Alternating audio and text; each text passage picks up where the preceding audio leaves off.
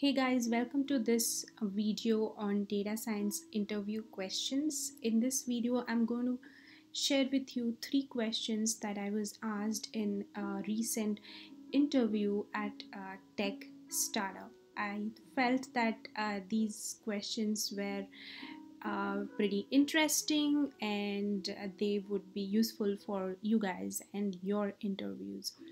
Uh, so let's go ahead and check out what these questions were. So uh, before we get into the questions, I just wanted to share that uh, data science questions can be a mix of open and close-ended questions.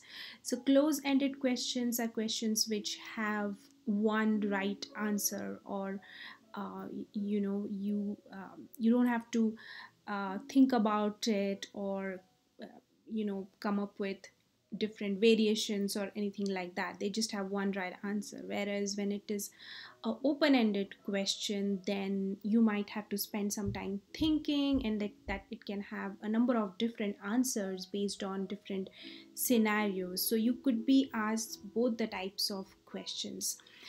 Um, so let's look at the first question I have here. Uh, the first question is that uh, you fit two linear models on a data set. Model 1 has 25 predictors and model 2 has 10 predictors.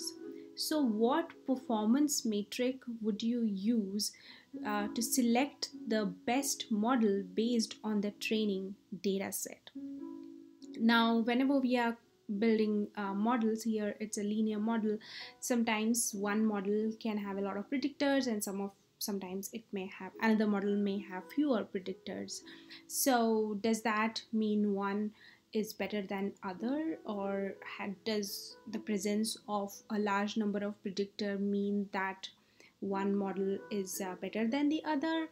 Uh, so what performance metric would you use? Now this is kind of a open-ended question because many people can interpret in many different ways.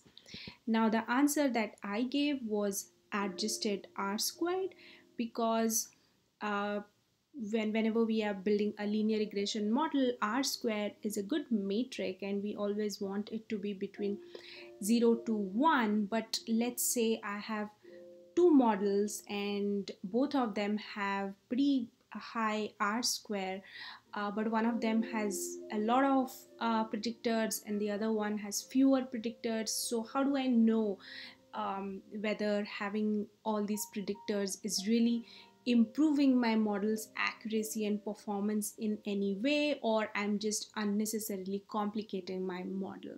So i felt that adjusted r square because it only increases if the addition of a new predictor improves the performance of our model.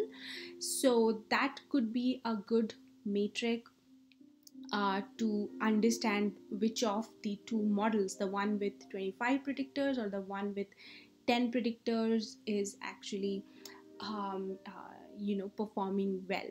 If you have a different answer if you feel that i should have given some other answer let me know in the comment section because like i said it's an open-ended question the next one uh, was uh, suppose we have a function like minus 4x squared plus 4x plus 3 find the maximum or minimum of this function. Now this is a close-ended question right? It it would have only one right answer. Um, so I was given this function. You could be given any other function and you might be asked to find the maximum or minimum. Now this is a simple quadratic equation but it could be even a higher degree of equation. So to solve uh, a question like this uh, you need to find the derivative of this function. Uh, this is a simple quadratic equation so you may just uh, solve it without using derivative but I'm just saying you need to use derivative because if it's an higher order um, uh, equation then it you can use derivative. But here also I have said that uh, our function is minus 4x squared plus 4x plus 13 which is in the form of x squared plus bx plus c. And whenever a is less than 0 that means that the function has a maximum value. This is something that we have read in school. You can go back and refresh it if you uh, uh, don't know about it so based on that we can say that this function will have a maximum value because part of the question was uh, to figure out whether this function will have a maximum value or minimum value. So because the coefficient of x square is negative, so we determine that it's going to be a negative uh, sorry, it's going to be a maximum value. So now to find what is that maximum value, we take the slope of our function. Uh, so f dash x it's uh, minus 8x plus 4 and we know that at the maximum point the slope is going to be 0 so minus 8x plus 4 is equal to 0 which gives us x equals to 0.5 and if I put 0.5 in my equation then it gives me the uh, highest value for that function which is 14 uh, so I forgot to put the 2 as a, a superscript um, um, uh, in the equation but that's 4x minus 4x square. It's square it's not multiplying by 2 so this function will have a concave shape and uh, the maximum point is going to be at 0.5 and 14 so that's how you can solve a question like this if you are asked uh, in the in the interview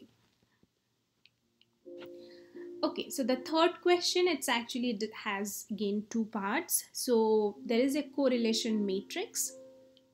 And the question is that uh, okay so this is your correlation matrix.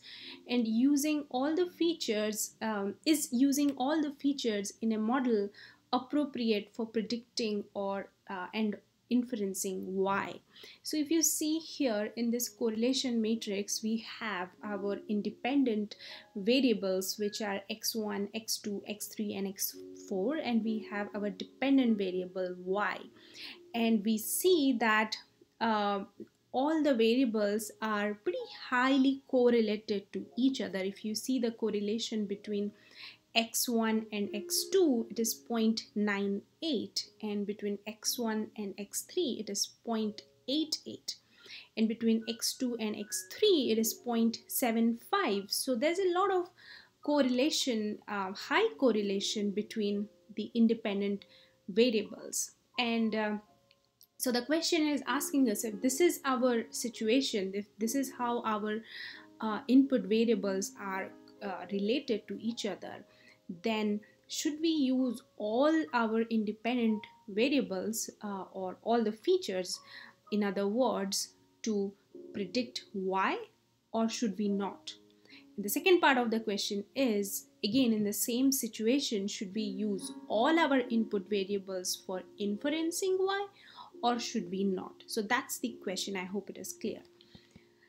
Um so my answer for the first part is it like if this is our situation, should we use all our variables for predicting y? So I said that no, because they are really highly correlated to each other. So there is going to be the issue of multicollinearity in our model. So to avoid multicollinearity, we should uh, follow different approaches such as dimension reduction, uh, feature selection, stepwise uh, regression, and try to uh, remove the multicollinearity before we build our model.